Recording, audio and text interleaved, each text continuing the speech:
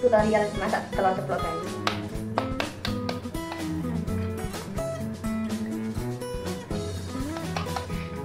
bentar ya guys ini lagi.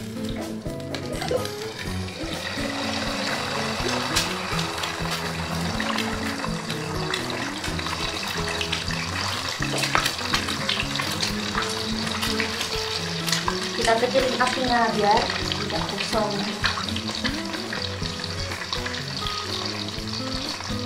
ini sudah mengkal-mengkal guys.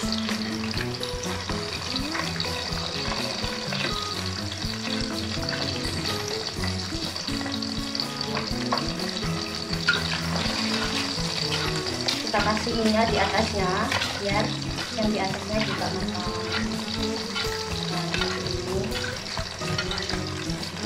Nah setelah sudah setengah matang